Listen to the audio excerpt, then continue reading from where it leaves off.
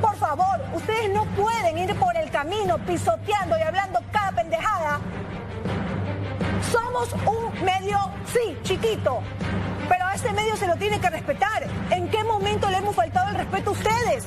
Ayer viniste, Mauricio, lo acaba de decir Fabiola, ayer viniste a Belén de la competencia, no solamente a hacerle una nota a Karim Barreiro por su salida de brujas, sino también a, muchos de los otros chicos de BLN. Y hoy hablas todas esas cosas de nosotros. ¿Qué le hicimos? Es mi pregunta. ¿En qué momento nos hemos peleado?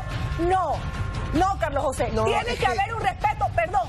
Tiene que haber un respeto.